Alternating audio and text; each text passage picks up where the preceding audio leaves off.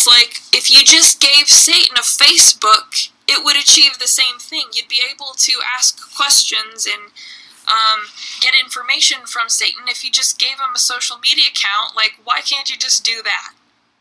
Huh? How long has the internet been around? But here's the thing, too, is that, like, people.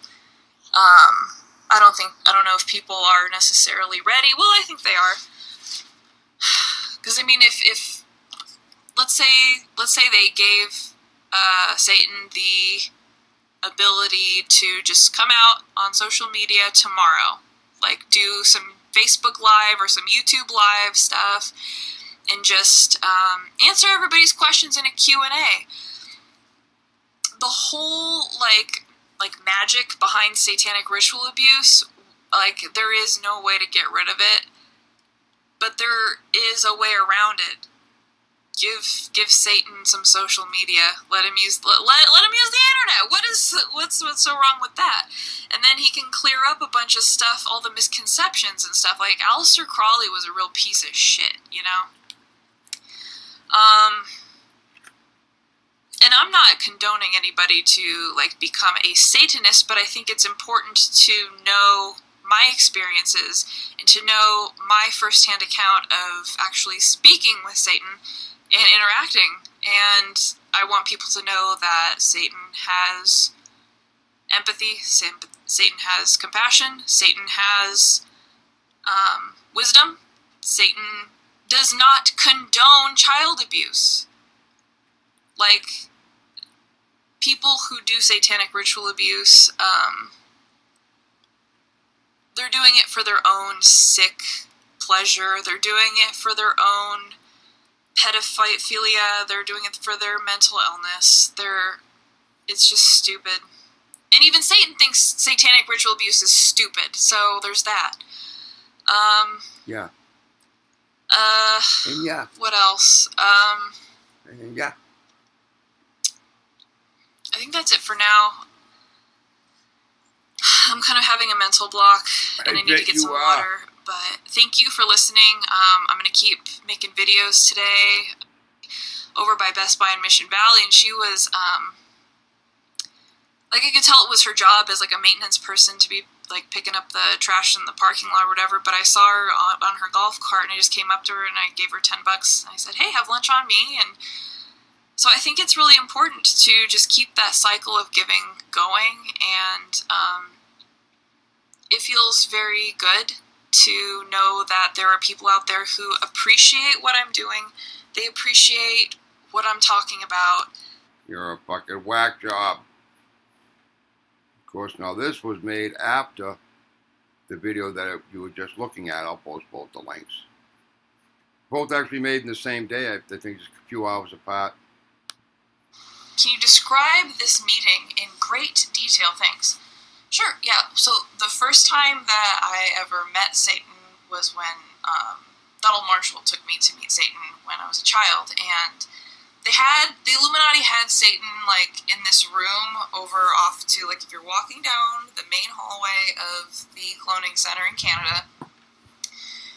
If you look to your left hand side, there's going to be a hallway at a certain point, like perpendicular to the main hallway and this leads to a bunch of rooms that hold um, really, really strange beings. Um, in a previous video, I referred to them as monsters. Um, some of them are definitely like they have no place in society or the world in general. They're like there's just no use for them because they're just like this weird being of destruction, and it, it's just better to keep them contained in that in that um, in a quarantined way. But um, so the room that they kept Satan in was just like completely black, and like entering the room, um, looking over to the left hand side and the left wall. It was just like a, a square room with high ceilings in the um, underground part of the cloning center, and um, all the walls and floor were painted black, and up against the left hand wall was sort of like this um, dark, like throne that Satan would sit on. And so I just remember, like, Satan uh, like shaking my hand and stuff, and just meeting me, and um, like just making sure that I wasn't scared of him, and yeah, like um, Yeah. I've never been abused by Satan. Satan has never hurt me or um, done anything wrong to me. It's been the evil men, the evil people who have committed satanic ritual abuse. Like, do you understand the difference there? Like, evil Freemason relatives who assembly line raped me and murdered other children. Like, um, Satan is against all of that, and it needs to be known. Um, Needs to be. and people who say that I'm lying, I'm not lying. You can fill me up with sodium triopenethol, turn on the camera. You can give me the most high tech and absolutely definitive, like $2,000 lie detector test. I am not lying to you. Like, can you feel the conviction in my voice? Because I am not lying to you. And if everything that I'm telling you is just too much, well, you know, excuse my French, but tough shit. Um, you're going to find out that I was telling the truth the entire time. And so, you know, God bless you. Uh, all I can do is pray for the people who hate me for just speaking the truth and talking about my experiences. So, if you think I'm lying, let me ask you this Were you there? No. So then you're talking out of your ass and you're just spewing out hatred that you're going to regret doing later. no. But you know, that's between you and God. Like, God is in God is in every molecule, every atom. And God made this, like, system, this plane that we live on. And He didn't make it to last forever. The Bible even says this. Like, Oh, have you heard about the apocalypse? It's going to happen. Like, when people say that, like, you know, like what what makes Christians think that this world is going to last forever? The Bible states that it's not going to last forever. It has clearly been built to destruct at a certain she is out of her fucking mind. police department you look up you ask for a pamphlet about domestic violence, it'll it'll go into how verbal abuse is 100% domestic violence. Yeah. Okay. So glad I could clear that up for you. And yes, I am, as in my previous videos, I've stated, um, I'm trying to move out of here and I'm trying to, um, like, get rid of stuff. And um, God. this is you're making it difficult on real SRA survivors. It's sickening. I believe something happened to you when you were a little girl, but not what you're telling here. Um, could you specifically um, say how I've hurt other survivors of satanic ritual abuse? Because I haven't. Um, I've given my testimony, and it's a pretty courageous and selfless thing to do. But nobody, nobody has given any proof how I've hurt other SRA survivors by giving my testimony, and I'm not lying. Um, you believe something happened to me when I was a little girl, but not what I'm telling here. Well, chili cold, chili toes, cold hands. Let me ask you this: Are you admitting to being present during my abuse?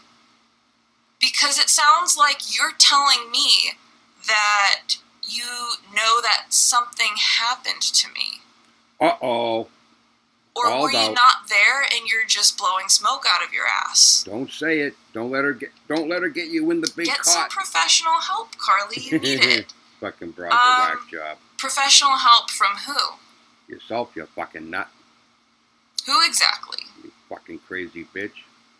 Um, should I go to a Satan worshipping cabal No. therapist? Should I go to somebody who has never even heard about satanic ritual abuse?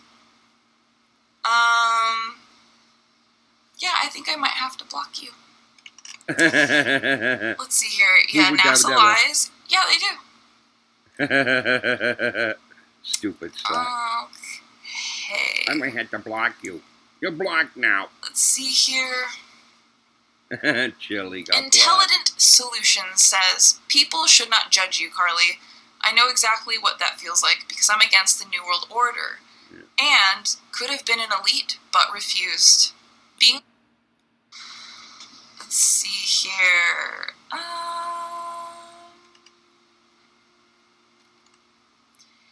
yeah, there's just a lot of really, really dumb, hateful people in the world, and, you know, I hope that a lot of them can turn it around in the next few years because we don't have decades left on and I need to um, get to working on stuff. But yeah, um, I appreciate everyone who is living the life of Christ. I appreciate everyone That broad is out of her motherfucking tits, man. Absolutely. Fucking. A fucking banana head. Goddamn shame. I can't even fucking make up how I'd have to even do half these goddamn things. She is a fucking lunatic.